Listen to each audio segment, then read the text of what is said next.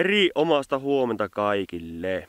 Leittää helmikuun puoliväliin ja lähdettiin Tomin kanssa tähän Ahven pilikille ja tosiaan ollaan tällä kertaa tällä lammella, missä kesällä käyttiin kumivenellä kalastelemassa. Laitetaan tuonne ylänurkkan kortteihin, niin tuota, jos joku haluaa käydä sieltä sen jakson kahtomassa.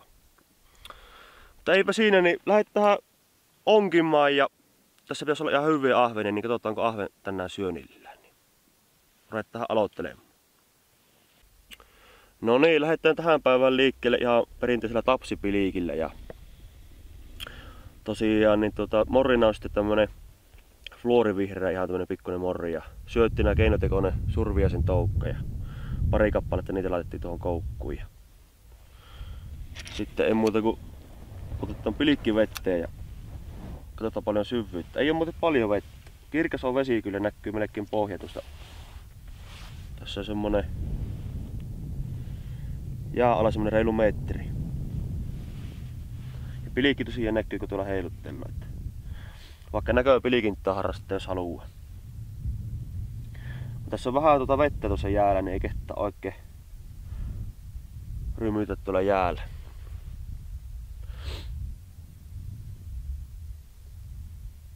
No niin, meikäläinen tosiaan aloittelee tätä päivää tämmöisellä autio karvapyrstellä.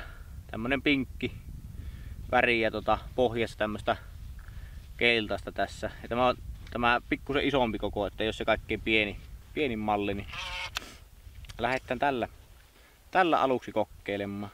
Tästä mulla tota pienempikin, pienempikin malli mukana. Pystyy sitäkin koettamaan. Kokeillaan aluksi, että miten se tähän isompaan malliin ottaa.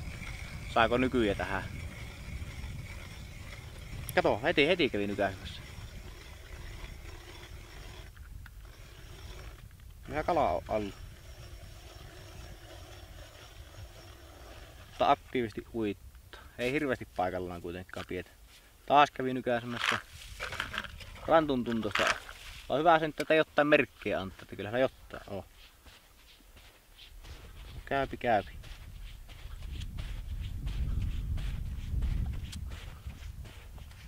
Taas kävi kiinni. Nykkii, nykkii. Ei mä olla oikea piliikki.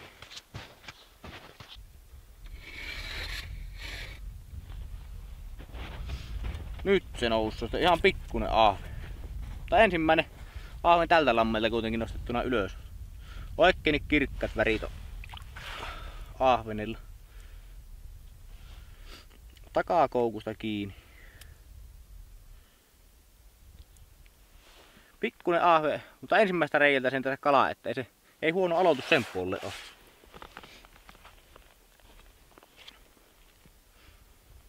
Toki noin pieni ahvenkin oli vielä, niin saattaa senkin takia, että nykkii. Sen verran iso kuitenkin tämä, tämä karvapyyrystö, että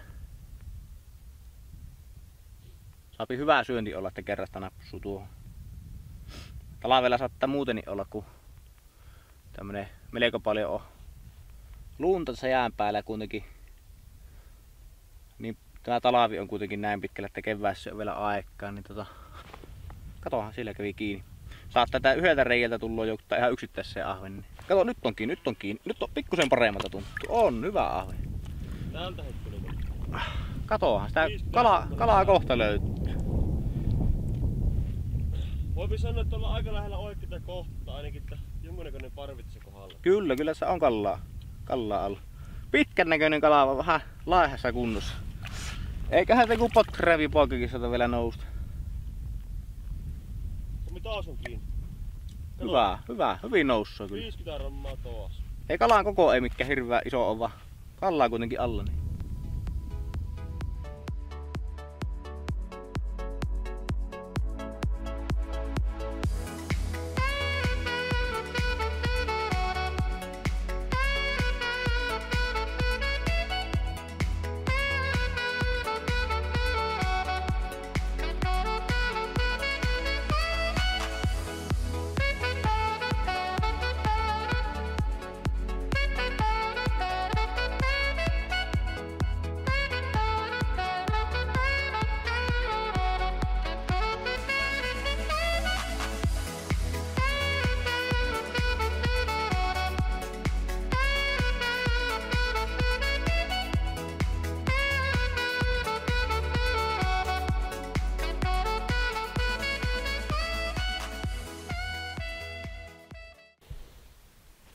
No niin, nyt noussut.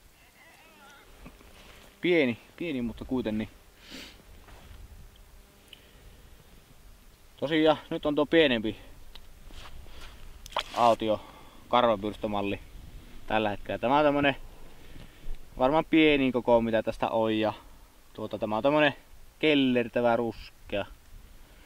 Tuota, ei tässä hirveästi mitään värieroja ole. Pikkusen tummempaa selkkää ja sitten vähän tämmöistä vaalaa tuossa nokaassa.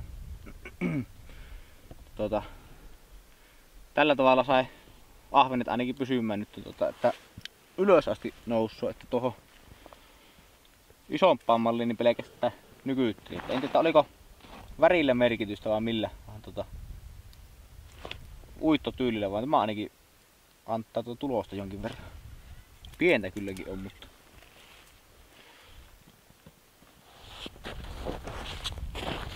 Abborrea kuitenkin.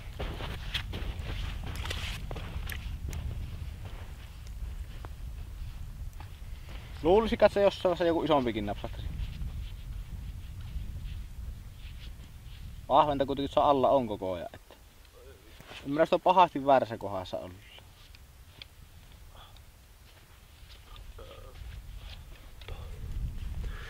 Näkyy olevan nämä kalat tällä vähän rannan puolella.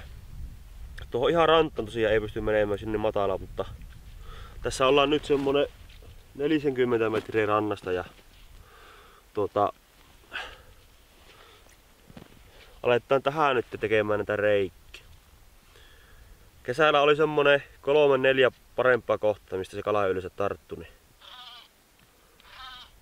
aletaan näitä tästä haravoimaan, että se löydetty niitä isompeihin ahvenia. Kuitenkin niitä 300 rammasia ja 400 rammasia pitäisi tässä lammessa olla. Niin. Toivon, että alkaisi semmosia tulla siiman päähän. Tässä on pienempiä kyllä nyt tuntuu oleva. Ihan malliksi asti.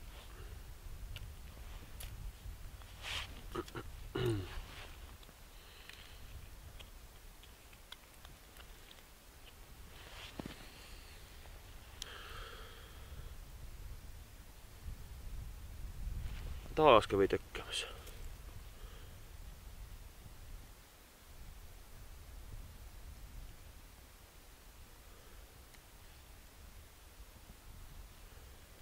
Taas on kiinni.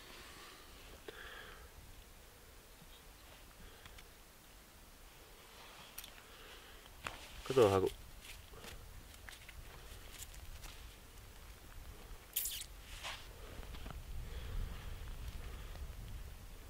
Ei ole tosiaan metriäkään vettä tässä kohdassa. Jäätä on semmonen, mitä tässä olisi, 40 senttiä olisiko suurin piirtein. Kaikki kerrokset yhteen laskettuna.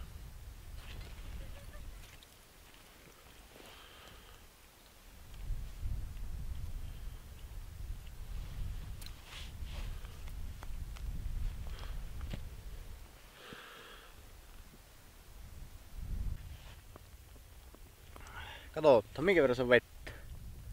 Jaa, se on paljon vähemmän kuin äsken. Jaa, katoha. Nyt on parempi. Katoha. Jaa, se on takapuolesta kiinni. Tämähän meni putki. Miten se tuolle on tarttunut kiinni? Sehän on sitkes.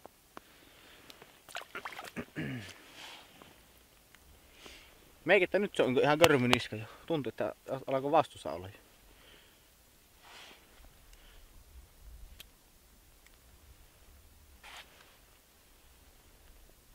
No niin, ruvetaan kahtelemaan.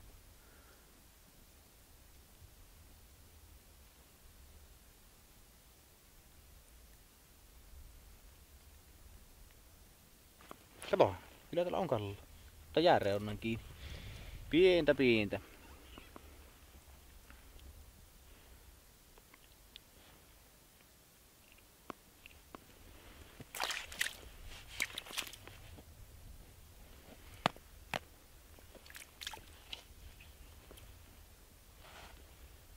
Kato, nyt, nyt, nyt, nyt on parempi, nyt on parempi. Katohan, nyt tuli ensimmäinen körmyniska. Nyt on iso. Oi että on komia ahve. Tuli ihan se isompi, sillä piti sitä kyllä Outellekin. Melko monet pienet ahvenet on ongittu. Nyt on komia. Varmaan aika lailla voisi olla jotain 250 rammaa. Mitä se Joni sanoisi kooksi? Näytäpä vielä tänne. On se kyllä sen ainakin.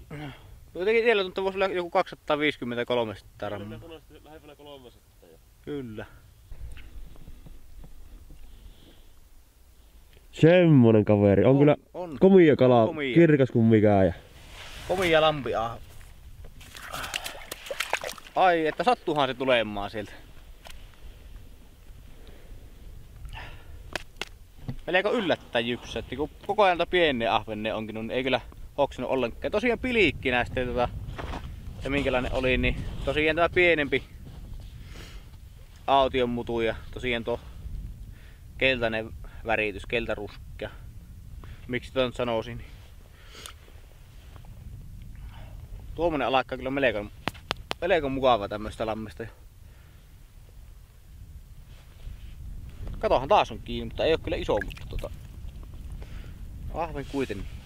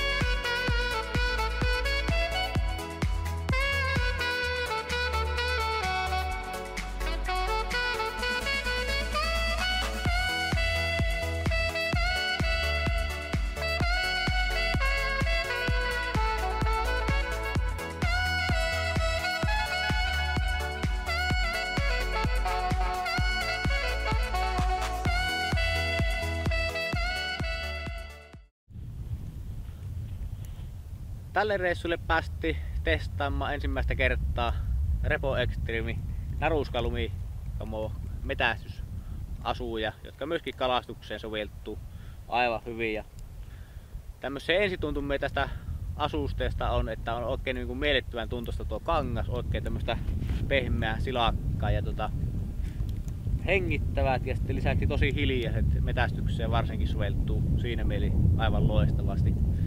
Ja näissäkin kamppeissa kannattaa muistaa, kun on tämmönen talavi varuste ylipäätään kyssässä, niin ihan kelin mukainen varustus, että, että mitä aktiivisemmin liikkuu, niin sitä vähemmän sitten kampetta alle. Itsessään taskuja löytyy erittäin monipuolisesti ja lisäksi sitten on tämmöisiä ihan ventilaatiotaskuja tässä. Sitten jos vähän pitempää matkaa liikkuu, niin pystyy aukaisemaan. Sitten tuolla niskapuolella on olemassaan tämmönen ö, naamiohuppu, jonka sitten voi päälle vetästä, niin saa vähän sitä valakoisuutta sinnekin. Että tuota, jos pitää semmosena yrittää maastottua johonkin semmoseen maastutta, ei kärsi naama näkyy pahemmin, niin sen voi päälle vetästä. Ja tuota, laitetaan tuohon alle linkkiä näkyviin sitten, että millä koodilla miinus 10 prosenttia saatte näistä Repo Extremin tuotteista. Ja lisäksi laitetaan tuonne alle sitten linkkiä Repo Extremin sivulle, mistä voitte tarkemmin käydä lukemassa näistä kamppeista lisää.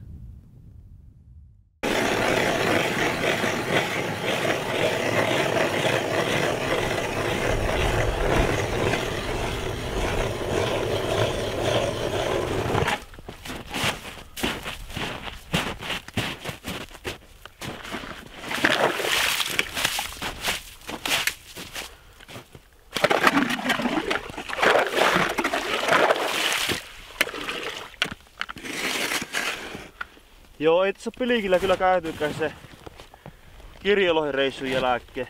Tarkoitus olisi, että tuossa kuukauden päästä, kun alkaa vähän aurinkoihin lämmittää, niin aloittaa nämä pilikkihommat.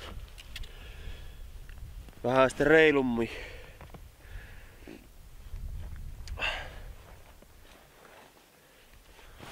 Tahtoo vähän olla, että normaalisti tähän voi aika niin kylmät ilmat, että ei sitä tarkenneisi pilikkiä Nyt sattuu taas tämmönen vähän lauhempi jakso, niin ajateltiin, että pitäisi käydä kopausemassa. Jos ei muuta, niin saa vielä ainakin raitista ulkoilmaa. Ja muusta pahanteosta pois.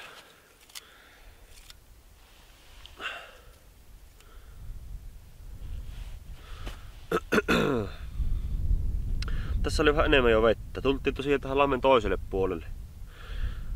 Tuolta mistä aloitettiin, niin syönti loppui kyllä kuin seinä. Että.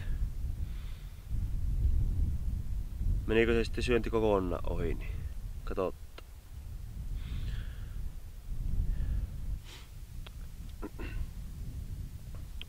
Tässä kirkasvetisillä lampilla tämä syönti on ollut vähän erilaista kuin yleensä kun käydään keskitalven aikaa, niin on saatu parhaimmat saalit.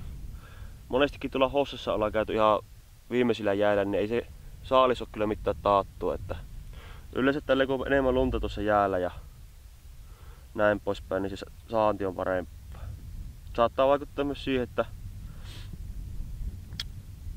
kala ei ole sitten niin arka enää, kun vähän lunta tuossa peittämässä tätä valloa. Ken tietää.